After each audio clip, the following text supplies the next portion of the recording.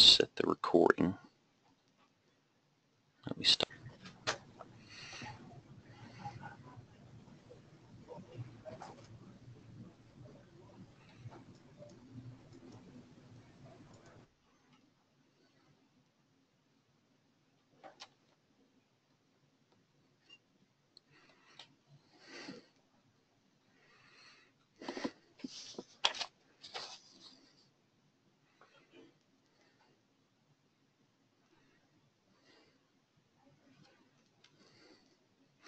I'll start it right at uh, 11. Give you as much time as possible.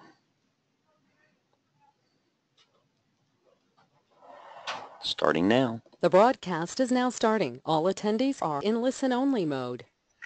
Welcome to the DBA Fundamentals Virtual Chapter Meeting for April. Uh, today we have Erin Stellato uh, kick, uh, doing a presentation entitled Kicking and Screaming, Replacing Profiler with Extended Events. Um, this one's going to be a good one for me because I still haven't totally went over to it. Anyway, um, I'm Steve Cantrell. I'm the uh, leader, co-leader of DBA Fundamentals, and our sponsor uh, is uh, SQL Sentry. And this month they're starting uh, with a execution plan contest. Um, basically, uh, you download a copy of their free Plan Explorer, which is a great free tool, and it's totally, you don't have to give your email address or anything. And if you find a really, really bad query that's got just this just wild execution plan, you can anonymize your um, execution plan. It'll change all the values and you can send it into them and I'm not sure exactly of all the details. You can get the details on their site. You can uh, uh, click at the top right hand side of your screen and you can make a copy of what's on the screen so you can copy all these links and uh, you can enter that contest.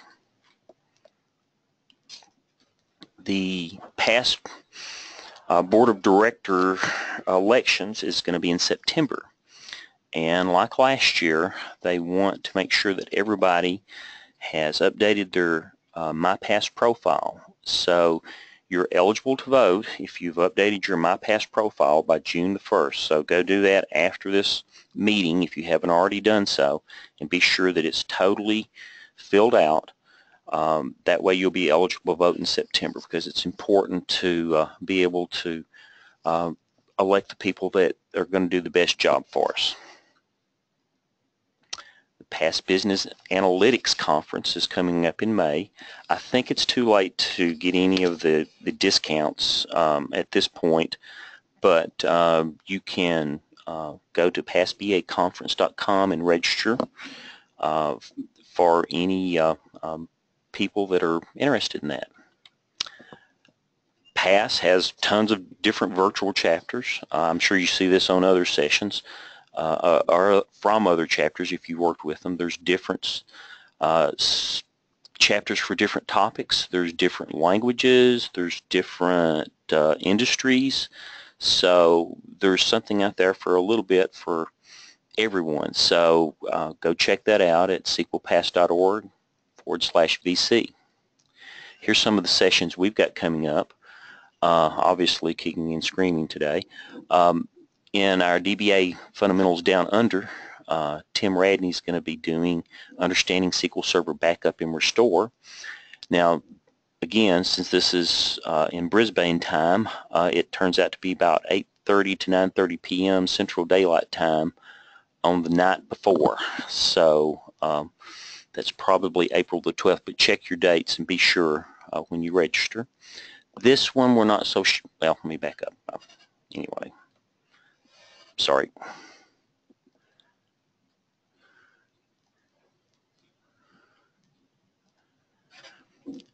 Uh, we're not so sure about whether or not we're going to give the one with Mickey Stuewe because, anyway, uh, hold off on signing up for that one. Uh, in May, uh, Jess Borland's going to be doing one on Beyond CX Packet Understanding Wait Statistics because almost uh, every time when you run um, some of Glenn Berry's uh, scripts or anybody else's scripts to get wait statistics, you're going to have CX Packet in there. So they, she's going to make sure you understand some of this stuff a little bit better. It's just another key thing to work with in performance tuning. Um, Kendra Little will be giving a session in July, three skills every junior DBA must know, and she's real good. Um, if you've ever listened to her, she's very good at uh, basic things like this and getting the details across. And in August, uh, Glenn Berry will be doing one on high availability and disaster recovery 101. Here's some other virtual chapter meetings that are coming up. Uh, there's one coming up right after this session that uh, looks pretty good and, and, something you might want to look at. I thought it seemed interesting. Um, analyzing U.S. election candidates on Facebook using Excel and Power Query presented by Gil Raviv. Uh, professional Development's got one, PowerShell, Global Portuguese, I hope I said that correctly, um, Hacking SQL Server, and uh, I thought that looked pretty good. Women Technology's got a good one coming up, Tools and Tips from the Accidental to Efficient Data Warehouse Developer. Upcoming SQL Saturdays. If you've never been to a SQL Saturday, you need to check out and see if there's one going to be close to you. It's a great day of free training, uh, like a small PASS summit uh, that doesn't cost you anything except paying for your lunch usually. Um, you can go to www.sqlsaturday.com and check out and see what's, which one's closest to you. Here's some that are coming up in North America and international. We will record our sessions and they'll be available in a couple of days. Uh, you can get them at our website. Um, and you can again if you want to uh, make a copy of this screen you can always have it so you can go find our sessions or you can go subscribe to our YouTube channel because that's where they wound up eventually anyway.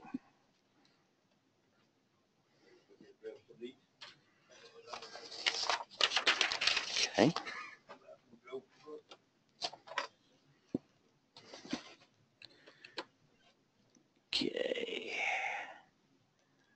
I'm going to, uh, I'm sorry, I'm kind of a little disjointed this morning. Um, I'm going to turn it over to Erin. Erin is a SQL Server MVP and works with SQL skills.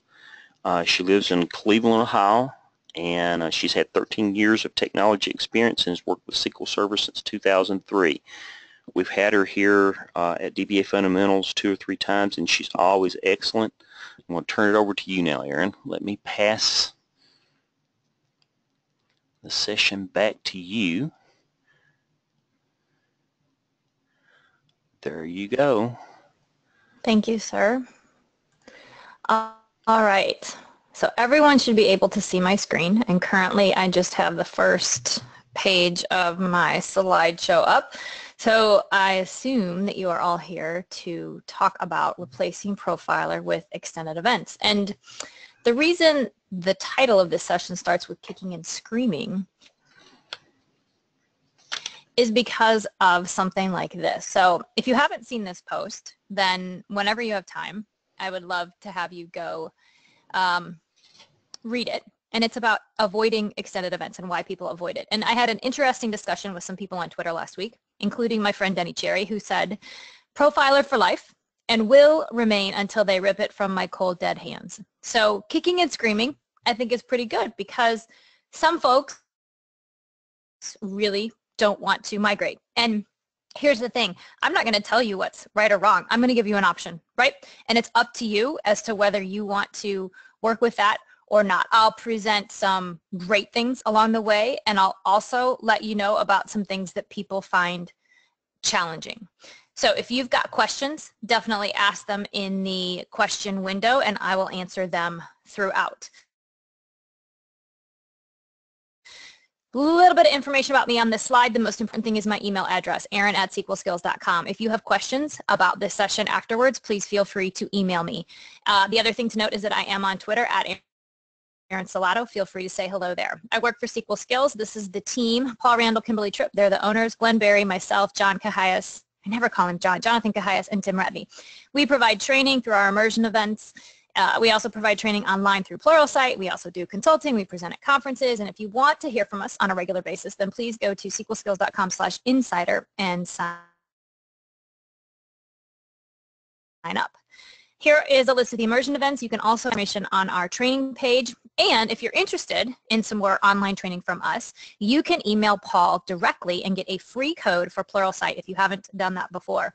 So I love this because I get to give out Paul's email address, paul at sqlskills.com.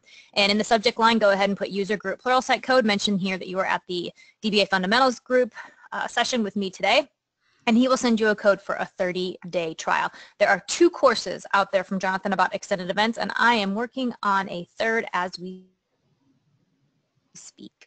So here's our plan from today for today.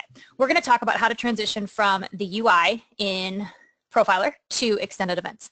We'll talk a little bit about targets in extended events, and we'll talk about potential performance issues to pay attention to. So let's start with talking about this transition that occurs. And a thing to remember is that Profiler was released with SQL Server 7. And I like to ask people, what year did SQL Server 7 come out? And it's a little harder to do this remotely, although if I could figure out how to do a poll, I would do that. But the answer is 1998. So it's 2016, which means that as of right now, Profiler is a legal adult. So we're using software that's, you know, 18 years old. Fantastic.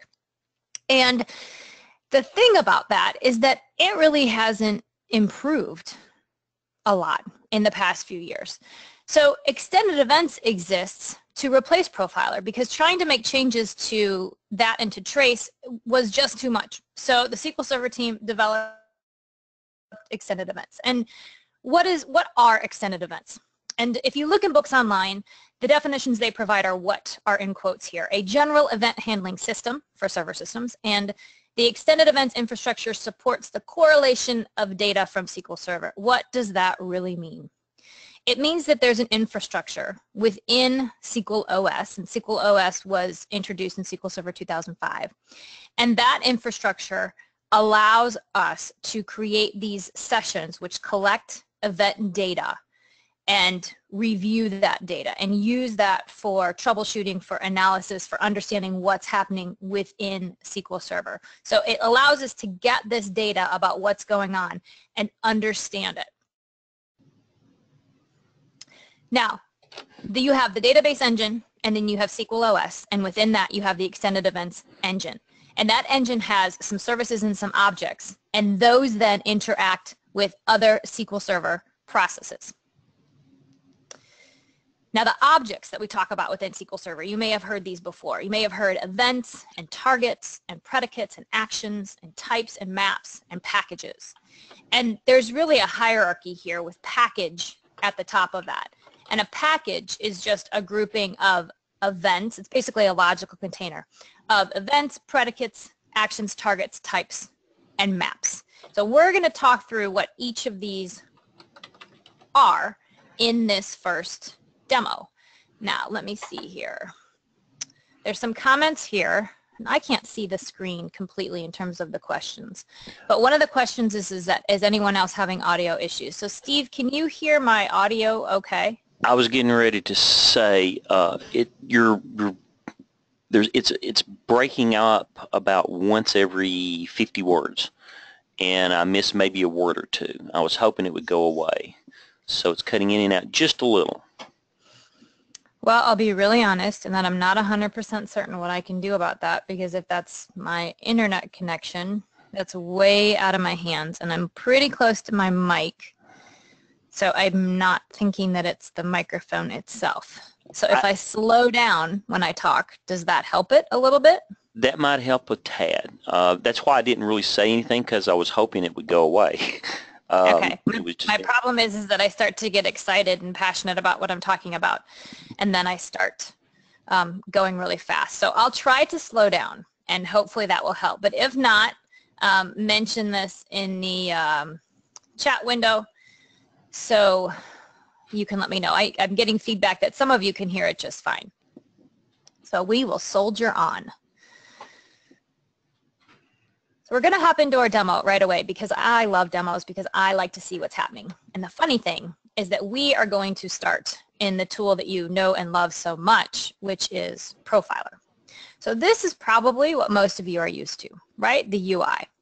And I would guess that what most of you do is you come in here and you decide to do a new trace and you connect to your instance and you probably have a template that you use. And I'm going to use one today. And a template's great because it has the events and the columns that you want to see already selected. So when I select use template and I pick my high reads template, I come in here to the events and I see that I have RPC completed, already selected, and I have SQL statement completed selected. And I have a set number of columns. If I, if I show all columns, you can see there's a bunch that I haven't selected. And if I show all events, you'll see I hate that view because now I have to start expanding to find them. But if I don't, then you can just see what I have selected here. And if I go into column filters and I scroll down, you'll see that I have a reads filter here because ideally we always want to filter on something. Running a wide open trace against your environment, I have heard, can cause problems, can maybe cause your system to go down. So we really always want to put a filter on there. So here we're looking for reads greater than or equal to 10,000.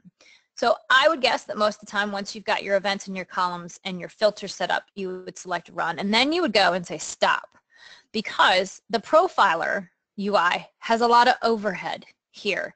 It can really drag down the performance of your system separate from whatever events you've set up and, and filters. Running it through the UI has a lot of overhead. So what most people hopefully do is they export this out to a script trace definition. So we're going to just call this user group. It's been saved. And so at this point, I've stopped this. This isn't really running. And what I would do is I would come into Management Studio and we go out to that location. And then I would take this script, which Profiler generated for me when I exported it. I'd put in a file location and I could run this. Now, I'm going to take one of these that I've already created, right? It looks like out. And, and I want to step through this because the thing is, no one goes, no one that I've met yet, there may be someone out there, but no one that I've met yet goes in and creates these things from scratch, right? Nobody goes in and writes them. But it's important to understand what they're doing. So this script, and this will only take a minute, so bear with me. This script first starts by creating a queue. It defines a trace ID, a max file size, and it sets that here. And then the next thing we have is our SP trace create function, which uses that trace ID. It's going to output a value for that. We specify the location for where we want the file to go. In this case, it's ctemp, and I have it called remote UG. You don't have to put the .trc on there. It tells you that right up there. And then after that, you'll see we do this set the events. So we execute this SP trace set event, and there's a combination of numbers here which is a event and column combination, right? And this is the stuff that nobody memorizes, right? I use books online for this. And the only reason I have these here is it so that we know, so that I know that 10 is RPC completed and 1 is text data. Oh, don't switch that around. And 10 and 9 is RPC completed and client process ID. So these get set, those event column combinations get set using SP trace set event. And the more events and columns that I have, the more there will be of these. Now I only have two. So I have RPC completed and I have SQL statement completed. Once all of those are set, then I have my filter. And remember, I just had the one. I had my big int filter here, which is, oops, this one down here, which is my reads greater than or equal to 10,000. And then the last thing that happens is SP trace set status, which starts the trace. So if I execute this, we get a trace ID of 2, which is expected, assuming we don't have any other traces running, because the default trace is running, and that typically starts up very first and has a trace ID of 1. So we get a trace ID of 2. And at that, at this point, it's running in the system. And I can use fn trace get info to see what's running. Here's my default trace. Here's the one that I created. And I can use sp trace set status to stop the trace and I can use, if I would highlight correctly, I could do that anyway. And then I can use SP trace set status to remove the definition entirely. So at this point, everything's gone. If I run fn trace get info again, right, it's completely been removed from the system. Now, this is what we're used to, right? We're used to using that UI. We're used to scripting this out. We're used to running this. This takes, you know, a minute maybe for us to do. So now I'm going to tell you that you can do all of this with extended events. And I will tell you that initially it's going to take you some time. And that may be your biggest barrier because when I go back to this blog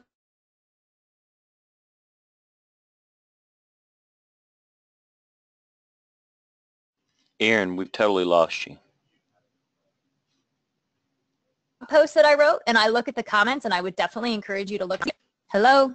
We totally lost you there for Hello? a second. Can you hear me?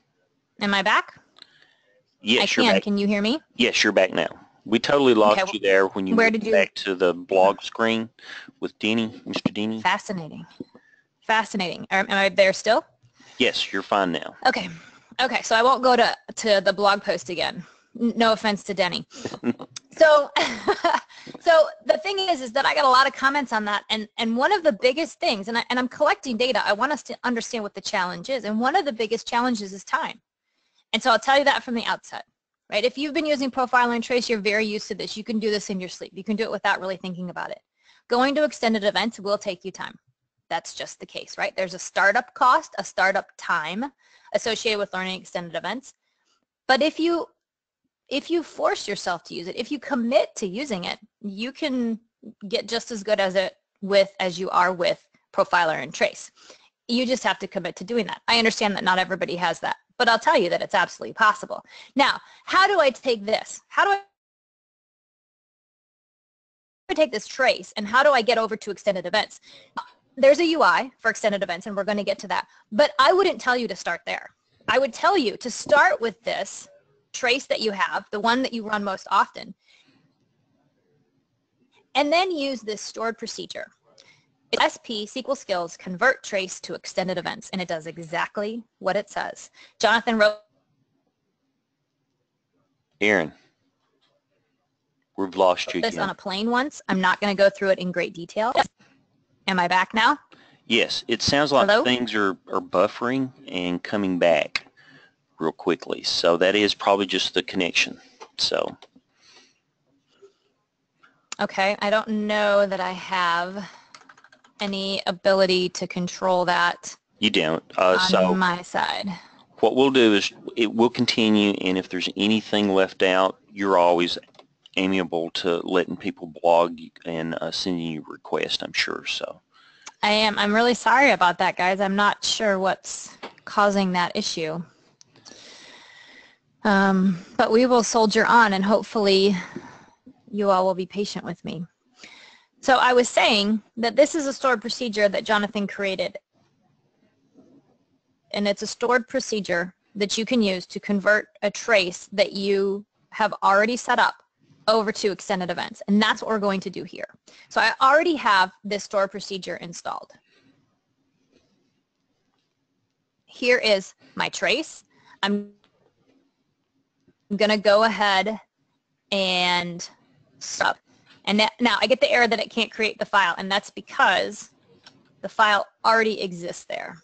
So I have to remove it because I wasn't dynamically naming it. So there it is. And now I'm going to run this store procedure. In order to run the store procedure after I've created it, I need to take the trace ID as the input. So the trace ID, if you remember, is 2. So we'll input that. And then I need to specify the session name, which I'm going to use XE reads filter trace. And then I need to print my output because I want to see what it's going to do. And then we're going to execute that. I'm going to just run this. I don't want to execute it. So execute is zero. Now, while this is running, I am looking at, do I have the option to call into this or do I have to do this in voice over IP? I have to do it over voice over IP, don't I? Okay, so here is the script that it generates. And I'm going to go ahead and create a new window and drop this in here. So this is our event session definition, which the script creates for me automatically. Now, right now, let me tell you that this only works for SQL Server 2012 and higher. If you're running SQL Server 2008 or SQL Server 2008 R2, my recommendation is to keep using Trace and Profiler. And the reason is because there, not all of the events from Trace have a comparable event in extended events until 2012, and there's no UI for extended events until 2012. So if you're on 2008, 2008 R2, don't be sad, right? This is getting you ready for what's coming. But I would stay with Trace and with Profiler. Now you can use it. You can use extended events. It's just going to take you a little bit extra work. And some people are all in and they definitely want to do that. And I can talk about how to do that. But this script is for 2012 and higher. So let me take a copy of this script that I have commented here. And we're going to look at that side by side. Not that way. Side by side. I hate it when I do that. Open it again. I want a vertical tab group. There we go.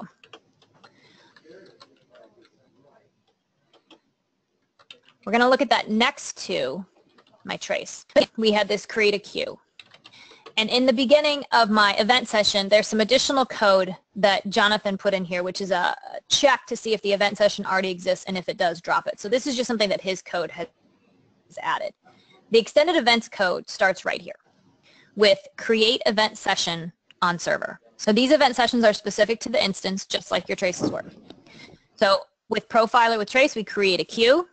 With extended events, we create an event session. Now, with our trace, we had our file location specified. I want you to hold on to that thought, right? Just park that for the moment. We're going to come back to it.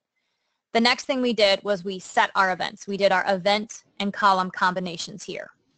Within extended events, you'll see we have add event SQL Server.rpc completed. So the thing that I love is that I can read this, right? RPC completed. I know exactly what event we are adding. Great. Then I have this action section. And some of you may notice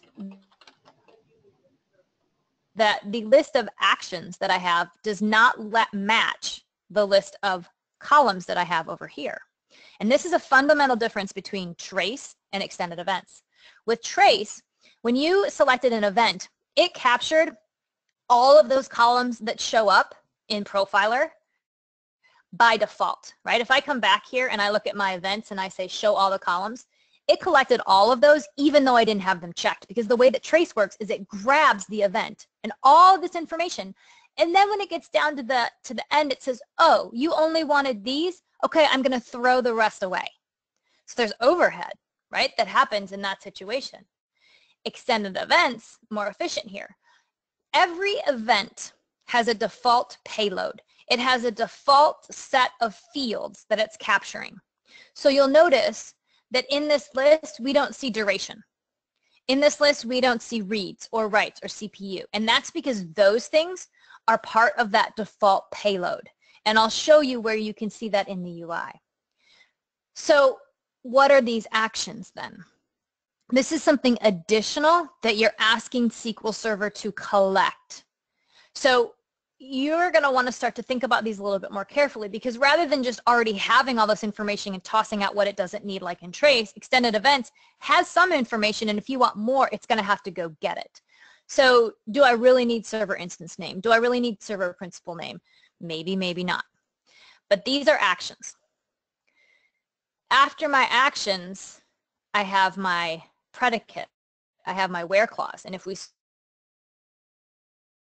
scroll down in our trace window, right, here at our filter, where I set my filter to be reads greater than or equal to 10,000.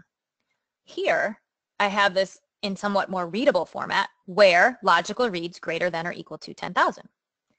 And then I move on with add event. So each event is added separately, just like it was in Trace. Each event has its own default payload, and each event can have have its own actions. These don't have to be the same. They are, in my case, but they don't have to be. And each event has its own predicate, which is very different than trace. In trace, this predicate applied to all events. In extended events, I can apply different predicates to different events. So I have a ton more flexibility. At the end of this event session definition, I have this target. My target is where do I want the data to go? Since I'm starting from a trace, I'm going to put the data the same place that I would for a trace, which a target being the event file. So you'll see add target event file, and then I'm specifying where I want this to go, the max file size, the max rollover file. Just like I did for trace. I have different targets available in extended events, but this right here, this file target, is analogous to writing out to a file with trace. So if I want to go ahead and run both of these, which I had this one running, right? And I want to stop it real quick. And I need to remove this file again. And then I want to start these both up at the same time. But this time, I'm going to comment out my predicate because I don't want to worry about generating that much I.O. Steve, how has my sound been? Um, a few people have mentioned that uh, when you move around the screen real fast, it seems mm. to scramble it a little bit, and it just buffers it and slows it down. So the only thing you can maybe do is slow down just a little bit, and I'm sure that's uh, hard. no, it's okay. That, it's pretty good. It's pretty good. It's pretty good. Keep going. Okay. All right. So let's go ahead and start up my trace. And then let's go ahead and create my event session. Now, one of the things here is that I create the event session, but it doesn't start. This is something that's different. So I'm going to go ahead and close both of those. And if you're wondering about these scripts and if they'll be available, they will. Yes, that's another question. I figured you had so them at SQL Skills. I, yeah, to see what I have. um, I'll make them available, yeah, for download from the SQL Skills site. So if I want to see what exists for extended events, I can run this first query, which is against server event sessions. And for trace, I'm running fn trace get info. So here I can see that I have system health and I have always on health. And these are event sessions that get created by default in your installation. System health has been there since SQL Server 2008. If you're running 2008, you have a system health session. It doesn't start writing out to an event file until 2012. The always on health event session was added in 2012 and is only going to be running if you're using an availability group. Now this is the event session that I added, XE reads filter trace. For, for the trace output, I've got my default trace and I have my trace that I created. If I want to start my event session. This is the syntax. Alter event session on server state equals start. So I have to create it and then I have to start it. My trace has already been started using the sp trace set status, passing in my trace ID and setting it to 1. So let's go ahead and start my event session. And then what I need to do is I need to start running some queries. So this, this may be what this may cause more of a problem here. We'll see what happens when I do this. And I'm not a PowerShell guru, by the way. Sometimes I get error messages in here. Um, I don't worry about them too much. But I'm going to let this run just for a minute here to capture some data. And once I've done that, I can come back and I can look to see what's running using server event sessions again and joining over to DMXE sessions. And for my traces, I can use sys.traces. So if I run these two queries, I can see that my XE session has been running, and I can see that my trace is running. Now if I want to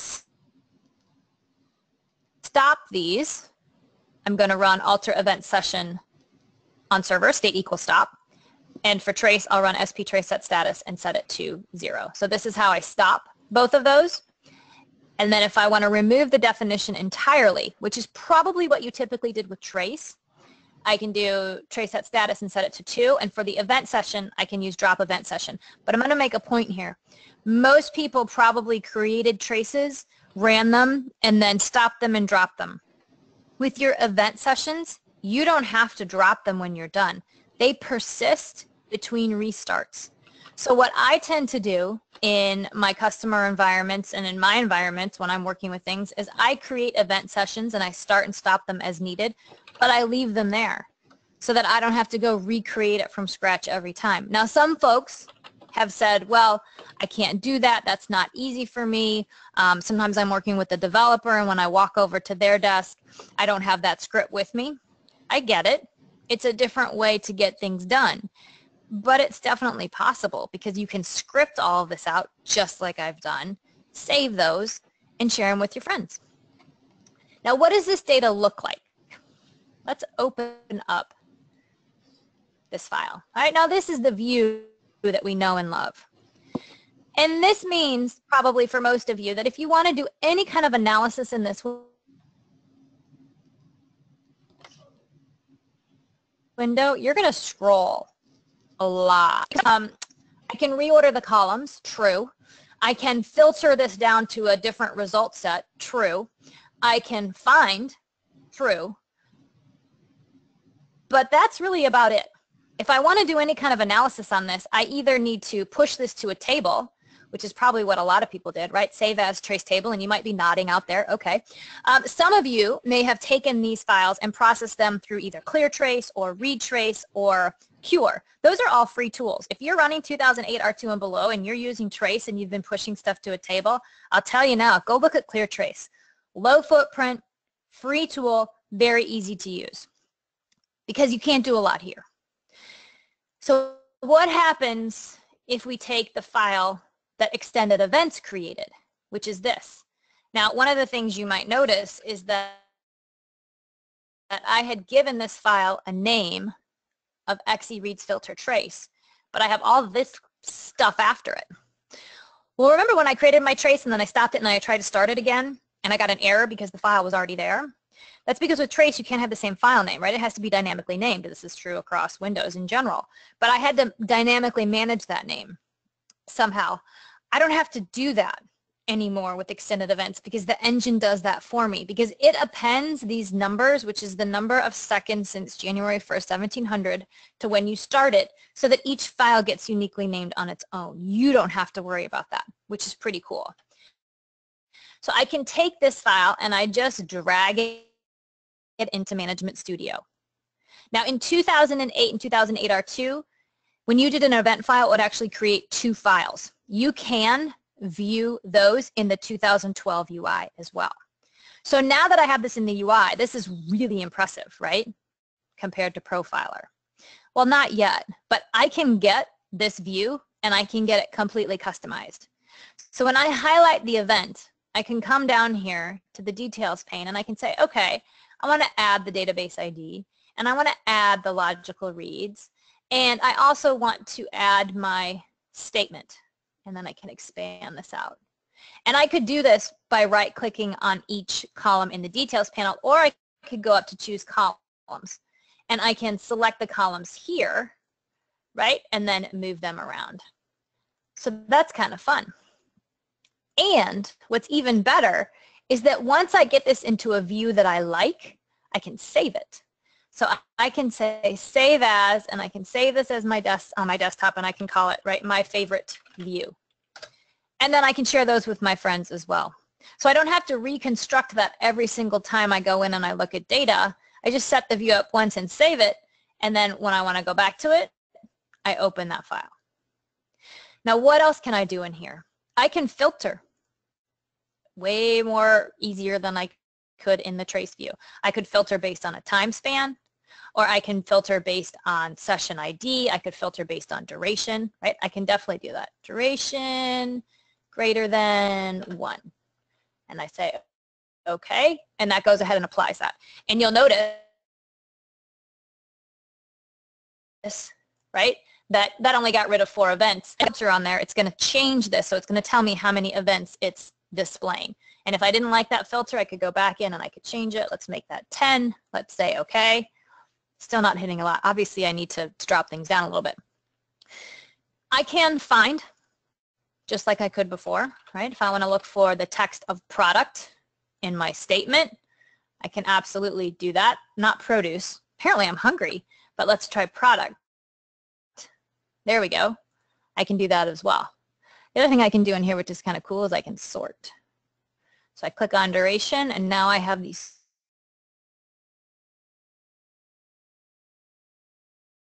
sorted in a much better order. If I add, if I come up here under extended events, I can export and I can export this to a table. So if you absolutely love writing that T-SQL and doing all that manipulation with your T-SQL, then knock yourself out. You can absolutely do that. But I tell you, I tend to do everything here in the UI. So let me hop back to my slides. And as I do that, I want to see if I can find anything, any questions so far. I've got questions about audio, which I'm trying to slow down. Hopefully it's better. Earlier on, someone asked if uh, when uh, SQL Upgrade Advisor and Database Engine Tuning Advisor could use extended events instead of traces, if you knew about that. Mm, that's a great question. Right now, no. I don't know where that is in the product in terms of if that, how they're working to change that, but I will look into that. So that's a good question. Thank you. I thought that was a good one. I agree. Okay. So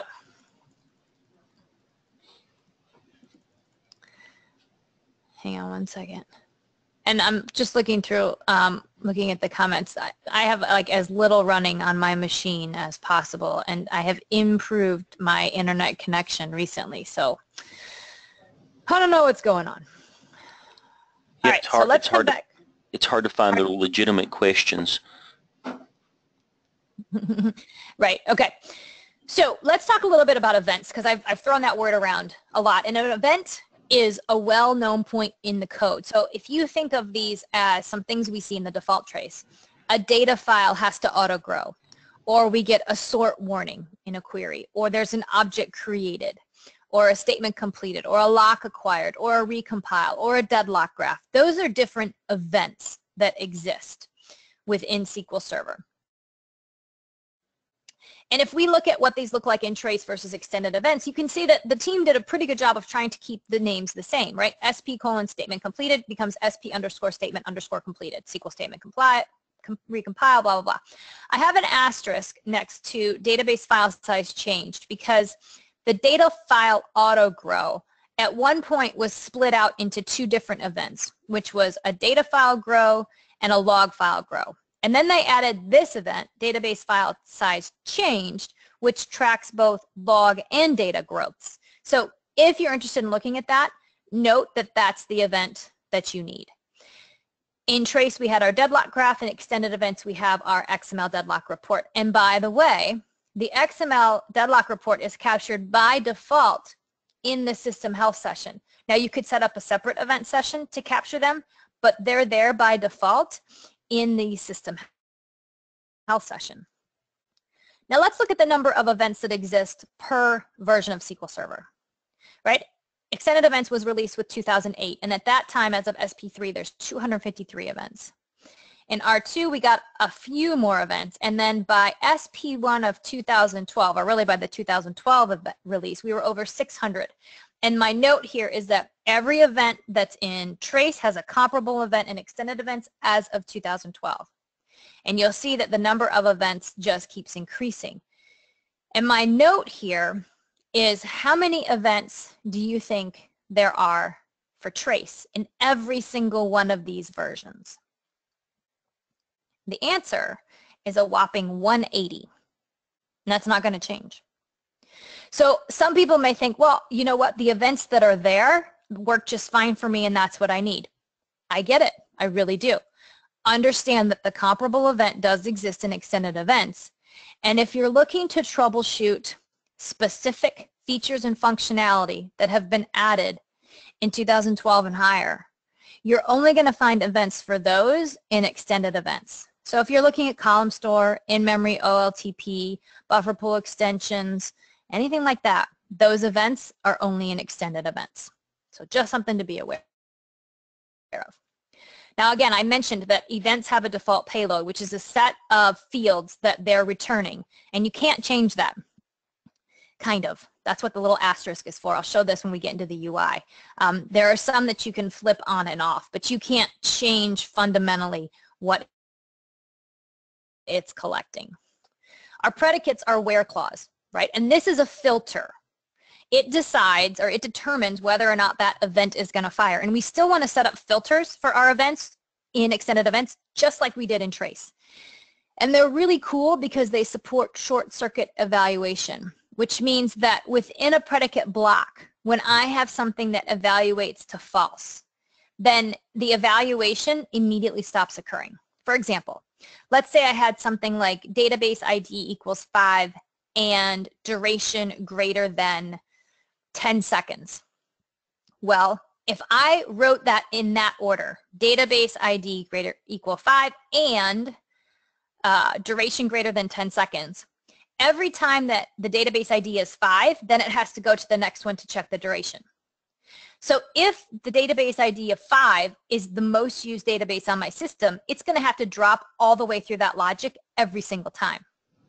Whereas if I reverse the order and I said duration greater than 10 seconds and database ID equals 5, then the moment that it found that the duration wasn't greater than 10 seconds, it immediately drops out. It short circuits. It says I'm done. It doesn't even look at database ID.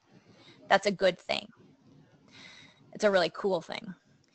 And the thing about predicates is you can set them up for either that default payload data or on these global predicate fields, which are other things that aren't part of the default payload, but they're other fields that you can filter on.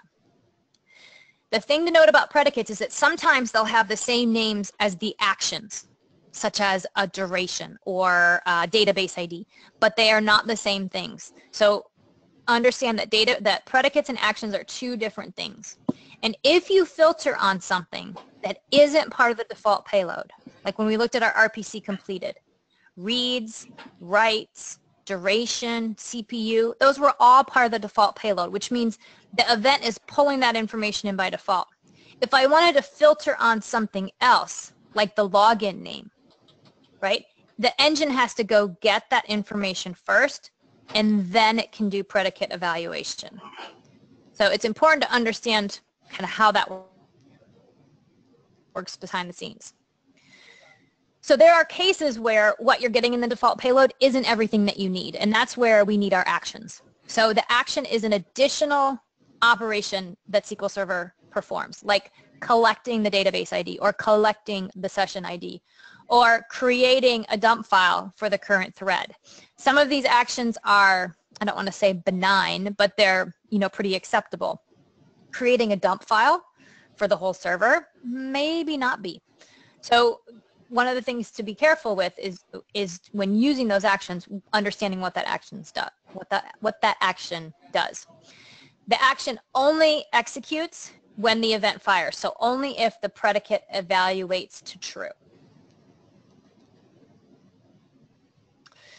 So think about what actions you really need because some of them have serious side effects and the more that you have um, can introduce more overhead and select actions like T-SQL stack, T-SQL frame can have higher overheads than something like database ID. And then the last thing to mention here is our target. The target consumes the event, right? This is where our data goes. So it can go to an event file, which exists out on disk. So you can think of that as quote unquote permanent. Whereas the other ones that I have here, the ring buffer, the event counter, the histogram, and event pairing targets, those four targets are all memory resident. So only when this event session is running can you see that data. Now you can save it off before you stop the event session, but it's a memory resident target as opposed to a disk-based target. So here's a big picture right? If we think about the order of events and extended events. If the events encountered, check to see is enabled, right? Am I supposed to be collecting this for an event session? And if that's true, then continue on in my collection mode. Collect that default payload data. Then do the predicate evaluation. And here, if I'm uh, evaluating something that isn't part of the default payload, it has to go get that. If it's true, publish the event, fire the event. Then execute the actions. Again, Actions only get executed if the predicate evaluates to true. For any target that's synchronous, which is just event counter, serve up that data. Otherwise, what happens is that event data gets buffered into or gets pushed into some memory buffers, which is kind of like an intermediate location in SQL Server's memory where it sits until it gets dispatched out to the target. So if I have a memory resident target, the data still goes to other memory buffers first and then goes to my memory resident target. Or if it goes out to a file target, it's in memory first and then it goes out to my file target out on disk. Now, let's go back to the UI so that you can see how to create the event session there. So we'll come back here, we'll close this, and we will open up a script just so that I have this available. Um, an event session, I may not do this one, I may just wing this one. So within Management Studio, 2012 and higher, connected to a 2012 engine. Underneath Management, Extended Events, Sessions, I have the sessions here. Yes, it's more clicks than if I open up Profiler, but it's really not that hard to find. And from my session, I can right-click and I can do New Session Wizard, or I can select New Session. Now, I like New Session because the New Session Wizard doesn't give me everything. I get everything in New Session. So here it is. This is my screen. And I first need to create, um, or excuse me, specify a name. So we'll call this one DB use. And I do have templates here. Just like I do in Trace, I have templates within extended events. And these are the ones that come through by default, but I can create my own if I want, if there's something that I tend to do a lot. I have the option of starting the event session when the server starts. So you could do this with Trace by like setting up a stored procedure to start it or by setting up an agent job. I don't have to do that. I can control that all within the event session definition. So I can have the event session start every time the instance starts and it'll just keep running. I can also have it start right after I create it here and then watch live data. The other event option that's pretty neat is this thing called causality tracking or in this version causality tracking because there's a slight typo, but it's fixed in 2016. And the option here is track how events are related to one another. So you know how in Trace sometimes you'd be like, okay, I need the transaction ID and I need the session ID and I need something else because I'm trying to understand all these events that happened in a particular transaction and the order. You don't have to do that anymore because causality tracking will do that for you. It attaches a GUID and then an order ID basically to the events that are part of a transaction, which is kind of cool. Then I've got my events. So these are all, all the different events that I have available. Notice that if I come here under channel, debug is not selected. So by default, I'm only seeing admin, analytical, and operational events. If I want to see the debug events, I have to check that box. There's no way to change that. But most of the time, you don't need the debug events. Here's one of the things that I love. How much time did you spend in Profiler in this window? Show my all my events. Hold on. File new trace, in here, event selection, show all events. I don't know about you guys, but I could never remember where certain events were. Now, maybe I wasn't using it enough, but I hated this. I, I did this a lot. Check, uncheck, scroll. Mm, lost hours in that window. No more. Here, I can just type completed, and I see every event that has completed. Like this makes me want to do like a touchdown dance, right? Like hallelujah. So easy to find these events. Now, what did I want to set up here? I want to look at the lock acquired event. So let's come back here. I can just type lock, and if that's not enough, I can type acquired, and here we go. I have the lock acquired event. Now down here in the bottom, this is my default payload. This is the information that I get by default with this event.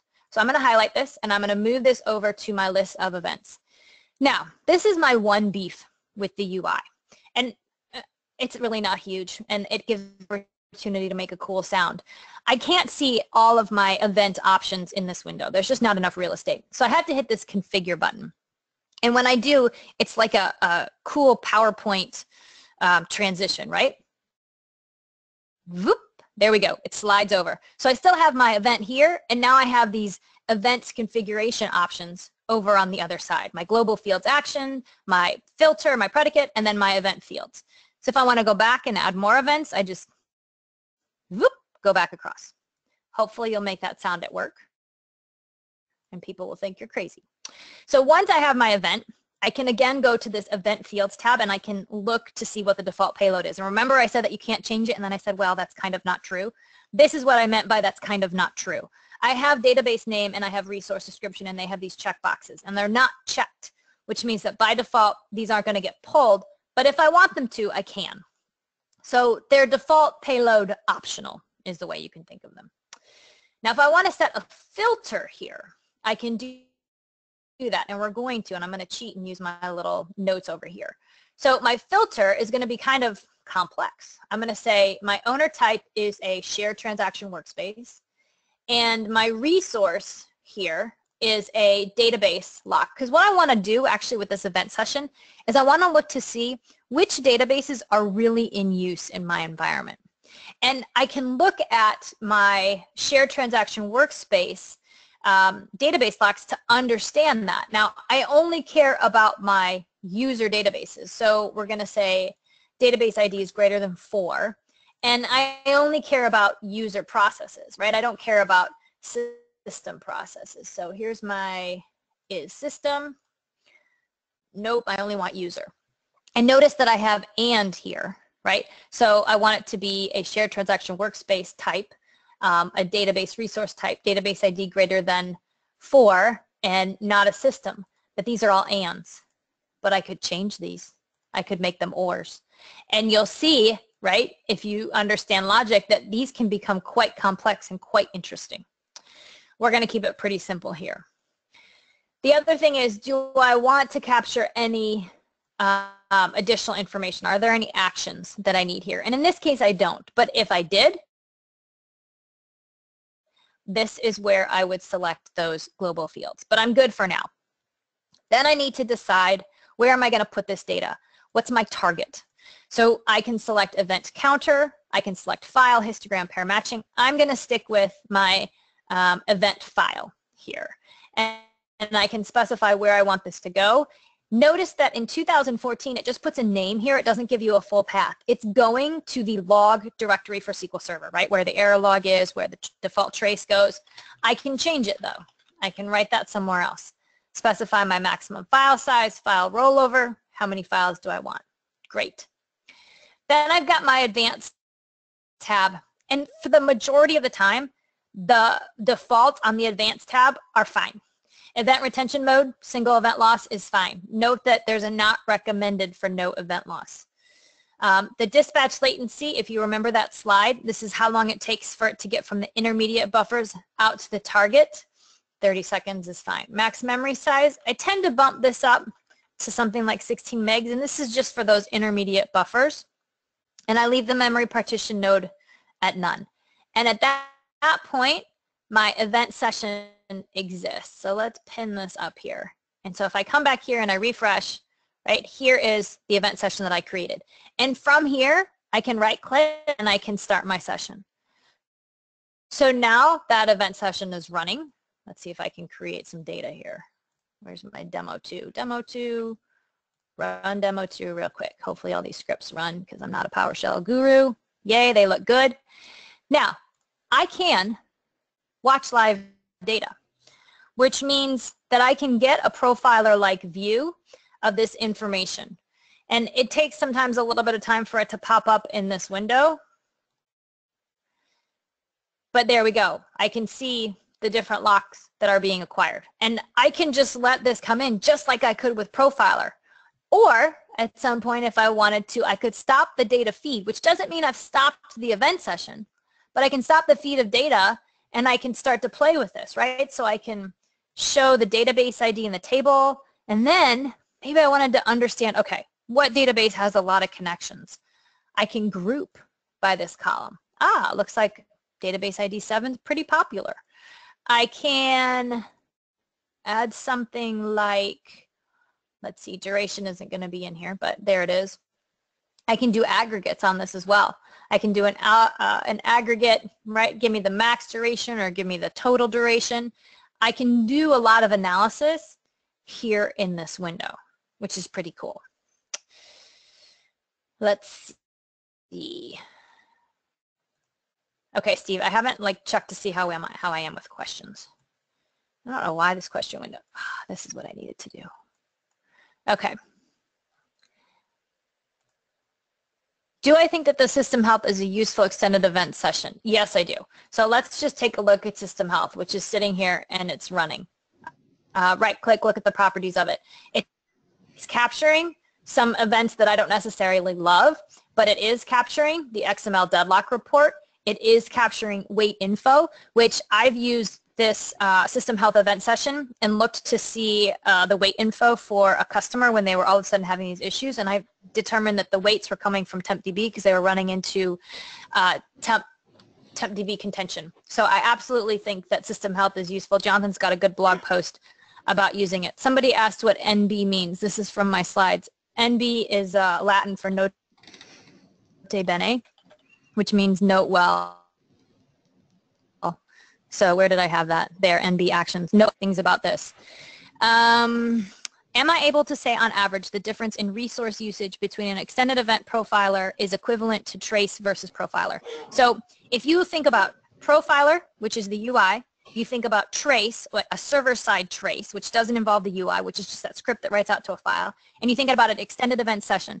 Jonathan has actually written a blog post that has this, and I don't want to switch to uh, my browser just in case, but if you Google um, Jonathan Kehayias trace versus extended per events performance, you'll see that when you run a pro, when you run Profiler, when you run that UI, the overhead that that introduces is significantly worse. It's not a good thing. I don't recommend running that UI. Run a server-side trace or run the extended event session. The performance between the trace and the event session, pretty comparable for the same set of events, actions, etc. Okay? Um, let's see. Is there an extended event to monitor index rebuild status? Well, I don't think so. But you know what? Here's one of the really cool things that we can do. I can come in here to the properties, I can look at the events, and I can search. Right? So if I look at index, index build extents allocation, this is kind of interesting, tells me about new extents being allocated during a build.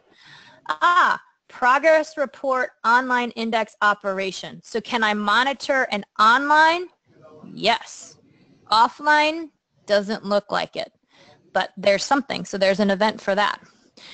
Ah, here's one of my favorite questions. Is it possible to combine the perfmon logs with extended event logs to make the correlation between Windows and event session data. So if you remember, you could come in here within your within Profiler and say import performance data and you could import a perfmon file. I'll tell you right now, no, you cannot do that in extended events. But I've seen a fair number of people request it the, the story is, is that the SQL Server team actually didn't even know that Trace had that capability. So they did not add that into extended events. Now, can it be added in? I don't know for sure, but I think it's probably going to be worth creating a connect item and upvoting that and see what happens. Um, is there a way to see live events like in Profiler? Yes, I showed you how to do that. Any challenges in migrating extended events script inversions? You only want to use 2012 and higher to migrate your trace script to uh, the extended event script. Does the order of the predicates matter? Yes. Can you download the scripts? Yes. Um, let's see. There was one other question. There was I'm missing one. it for the moment.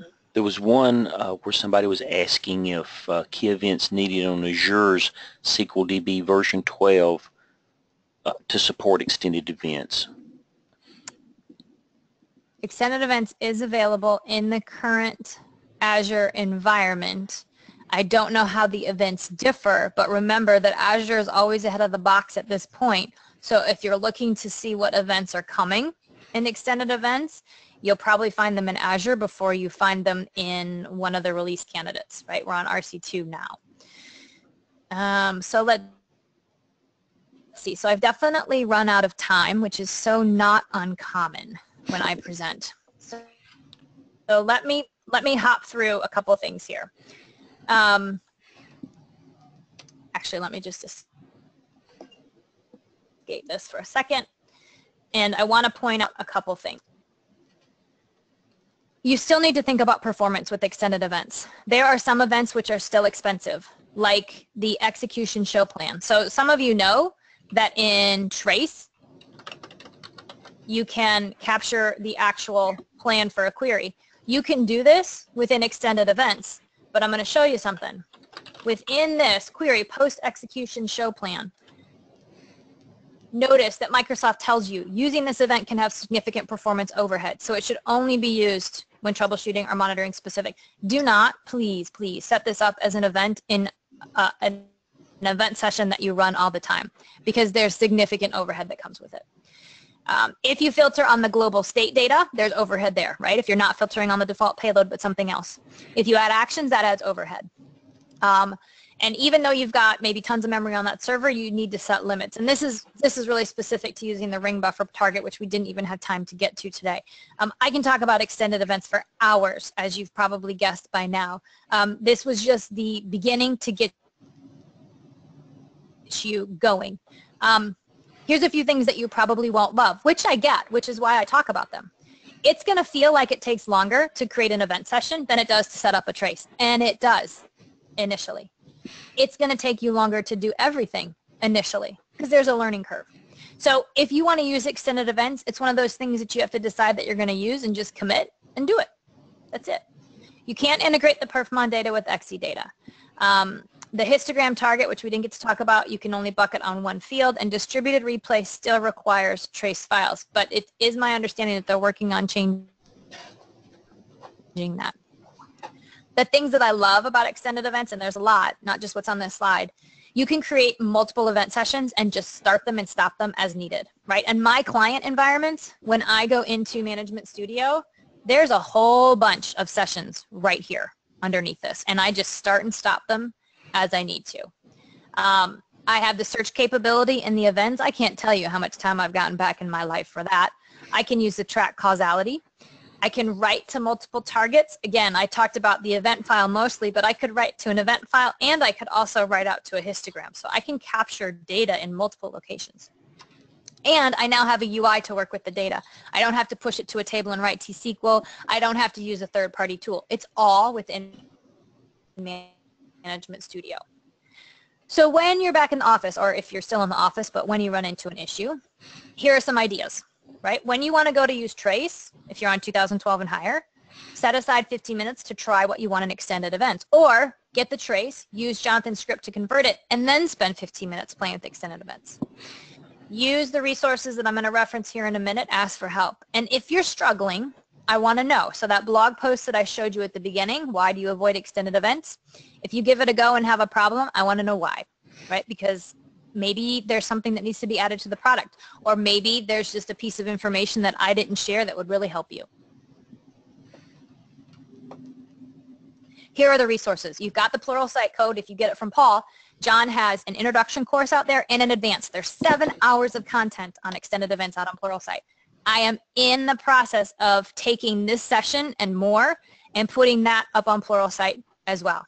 I've got uh, a stairway started on SQL Server Central that goes through this. Um, I've got two posts out there. There's two in the pipe, and then I'm working on the rest of them.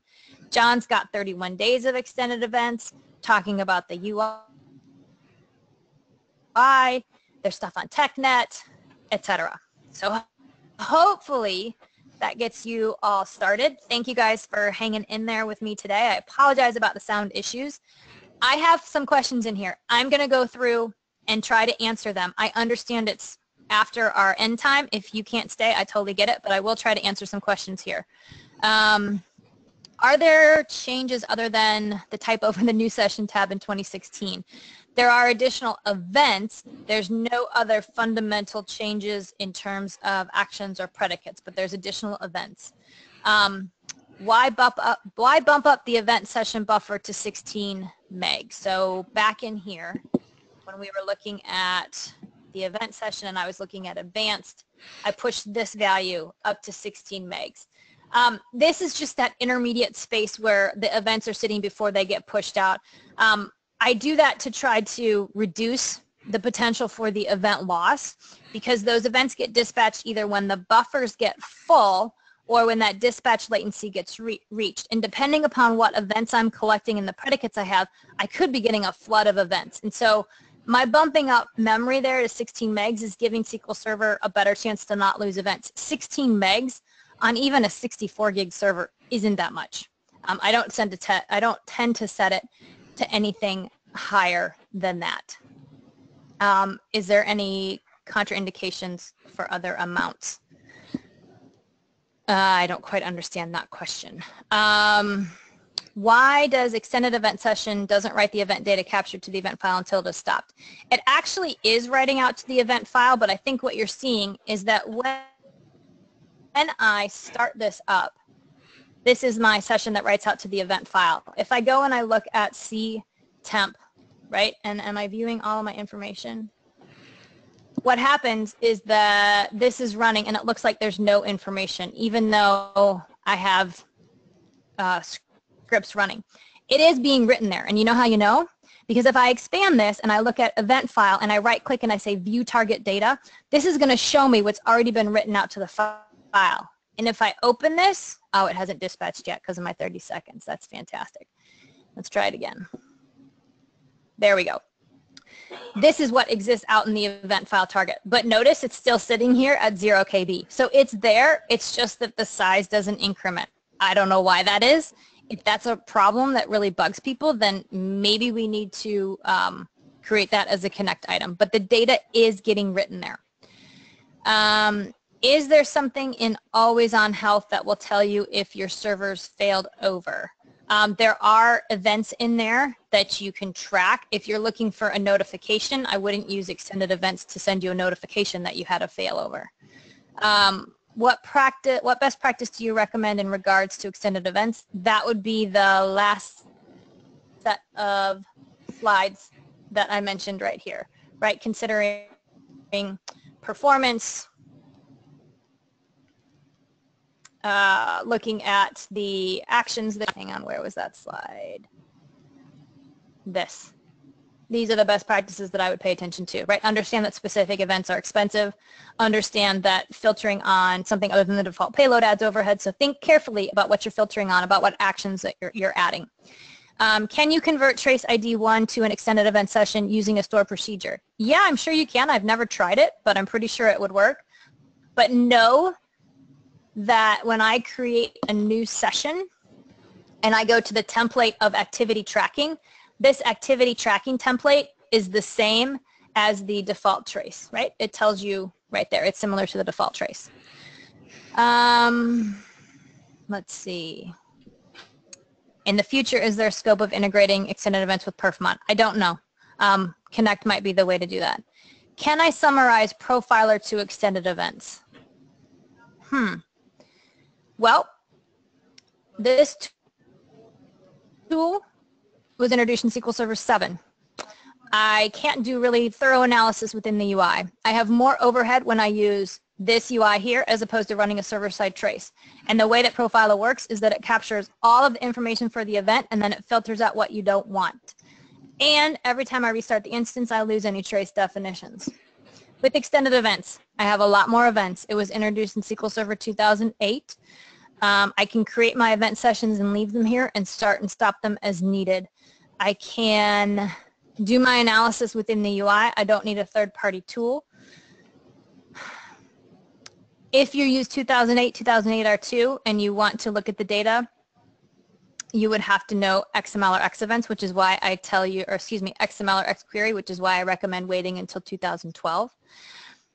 The overhead of the event session is comparable to a server-side trace, but it's way less than running Profiler. So I hope that's a good summary. That was just kind of off the top of my head. Um, let's see. I will not send the URL for the recording, but it will be available either on the DBA Fundamentals virtual chapter page or on the YouTube channel. Um, I think that's it for the moment. So if you've got other questions, definitely send me an email. Thank you all for attending today. Steve, I don't know if you want to say anything else. No, that's fine. Just that was a great great session, even with uh, the the little audio issues. And I did find out from a couple of people that there is supposed to be an option for dialing in. I'll know next time. I do do not know how to do that now, but I will find it out. So uh, just in No case this happens. But anyway, it was a great session, and um, we'll be posting the uh, recording in the next day or two. And Erin showed you the links. I'll I'll send a link to the recording so you'll have that, and you can get to the uh, downloads at SQL Skills. And I recommend to definitely go through and go into Pluralsight since you've got it for free for a month and try it out. You can get a ton of information out there about extended events, uh, as she pointed out. So you you have plenty of capabilities to do that now, as well as a ton of other things to talk about, not just extended events. Anyway, thanks, Erin, and uh, we'll see you next month. Thanks, everyone.